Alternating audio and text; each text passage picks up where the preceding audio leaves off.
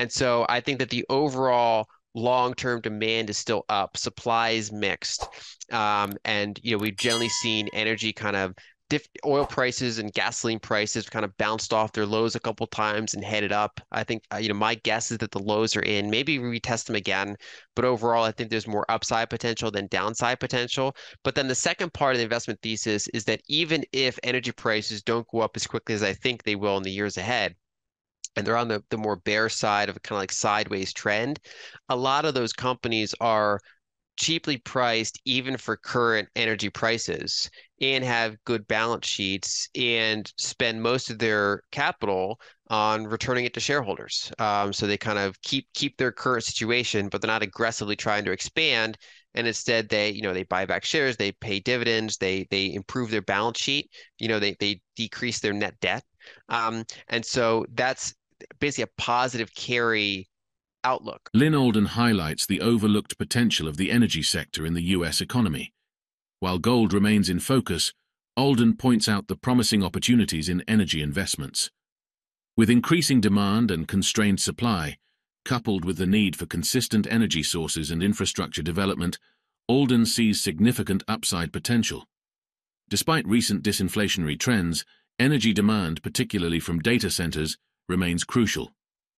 Alden suggests that investments in oil, gas, and uranium offer attractive prospects compared to traditional alternatives. So I, think that overall, we've got increasing demand for energy. Um, supply is not terrible, but it's still relatively tight. Uh, companies are not heavily incentivized to invest in new production. Um, and so um, I think that overall supply is going to be kind of relatively constrained. I think that um, shale oil is going to grow more slowly in the coming years than it did over the past decade, um, and that there's going to be there's going to be a price increase to bring in more capex to kind of bring in new supply and kind of incentivize that longer term development of these energy resources. I also think that um, you know over the past over the past 15 years, the type of tech we've had has been relatively disinflationary. So, for example, mobile devices, um, social media, these are not particularly energy intensive things. If anything, they they dematerialize a lot of the other things we have to use. Whereas outsourcing a lot of high computation thinking so making making art making videos um, you know making complex decisions that's actually pretty energy intensive when, when we kind of put that into the tech sphere uh, it's more of a combined software and hardware situation. So I do think that we're going to see more energy demand out of things like data centers. Um, and then that's going to be challenging to meet. And then you need to do things like you need to increase the electrical grid capacity, which is ironically an energy intensive thing to do, uh, a materially intensive thing to do. Um, and so I think that the overall long-term demand is still up supply is mixed um, and you know we've generally seen energy kind of diff- oil prices and gasoline prices kind of bounced off their lows a couple times and headed up. I think uh, you know my guess is that the lows are in. Maybe we retest them again, but overall, I think there's more upside potential than downside potential. But then the second part of the investment thesis is that even if energy prices don't go up as quickly as I think they will in the years ahead, and they're on the, the more bear side of a kind of like sideways trend, a lot of those companies are cheaply priced even for current energy prices and have good balance sheets and spend most of their capital on returning it to shareholders. Um, so they kind of keep keep their current situation, but they're not aggressively trying to expand. And instead, they you know they buy back shares, they pay dividends, they they improve their balance sheet. You know they they decrease their net debt, um, and so that's basically a positive carry outlook, which is to say that even in a middle of the road scenario, I think those investments are still attractive compared to things like T-bills, basically compared to um, you know mon- monetary alternatives. So I would say across the board, oil, gas, and and uranium. Um, basically, um, I think that um, with those types of things, variable energy sources don't necessarily cut it uh, you need consistent energy sources, and you need an uh, an uptick in overall grid capacity, which uses a lot of materials and is built by machines using hydrocarbons. Um, and so I, I, think it's I think it's an all the above situation. I think we'll see we will see you know more solar and wind coming online, but I think it's those more um, uh, in control or base load types of energy sources that will also continue to be in demand. So I, I think across the board, higher energy across the board. Lyn Alden highlights Bitcoin mining's role in optimizing energy usage, leveraging surplus energy during low demand periods and throttling back during shortages. She emphasizes how Bitcoin mining utilizes stranded energy, contributing to grid stability. Alden anticipates Bitcoin's integration into energy infrastructure to continue enhancing efficiency.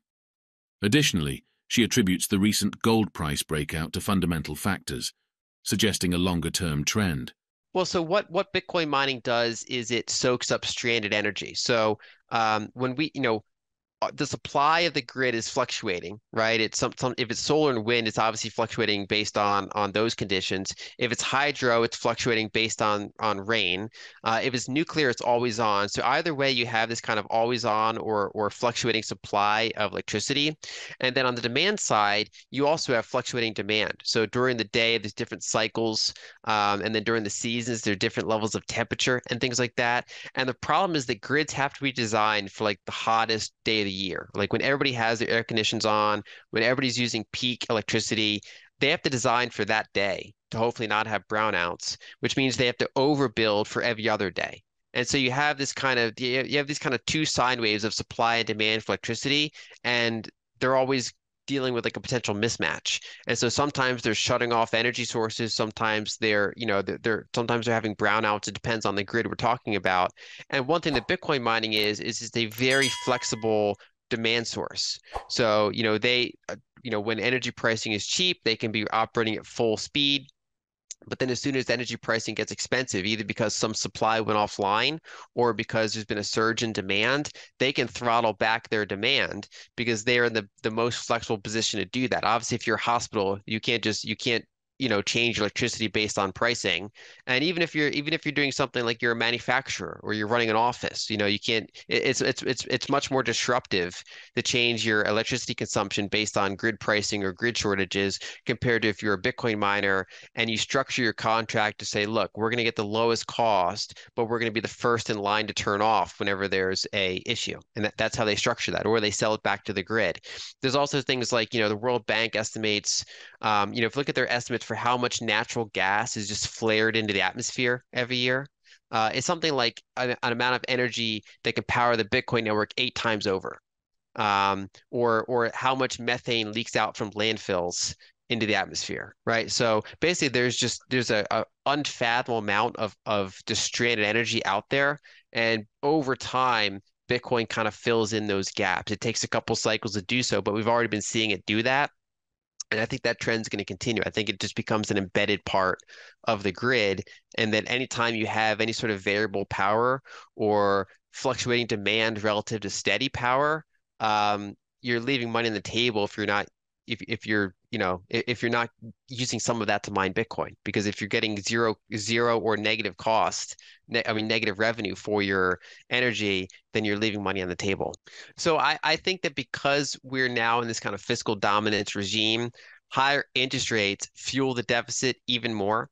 Um, which which potentially fuels gold. Um, I think you know you could get liquidity like temporary liquidity shocks if for example um, you run these big deficits the fed tries not to monetize them uh, and you get kind of um, like a, a, temporary liquidity problem in treasury markets that could certainly contribute to a gold sell-off uh, temporarily um, but i do think the, the, the breakout has legs to it um, I think that the breakout is is real. I think that it's it's based on fundamentals. I think that there's a, a good reason that a lot of foreign investors want to own gold more so than treasuries um, and that they want to basically have a better ratio of gold to treasuries. Um, and I, I, think that that's that's probably going to be a longer term story. Uh, and I have no view on what gold does in say a three month period, um, but I do think it, it's it's now that it's broken out. I think that's a very strong sign that I think it's probably headed higher in the next few years. In today's discussion, we explored the dynamics of energy supply and demand, noting the increasing pressure on resources and the potential for constrained supply in the future. Lyn Alden highlighted the importance of consistent energy sources and the need for an uptick in grid capacity to meet growing demands. Additionally, we delved into the role of Bitcoin mining in optimizing energy usage and stabilizing grids, Finally, we touched on the recent breakout in gold prices and its underlying fundamentals. We appreciate you joining us for this insightful discussion. Don't forget to subscribe to our channel like this video and share your thoughts in the comments below.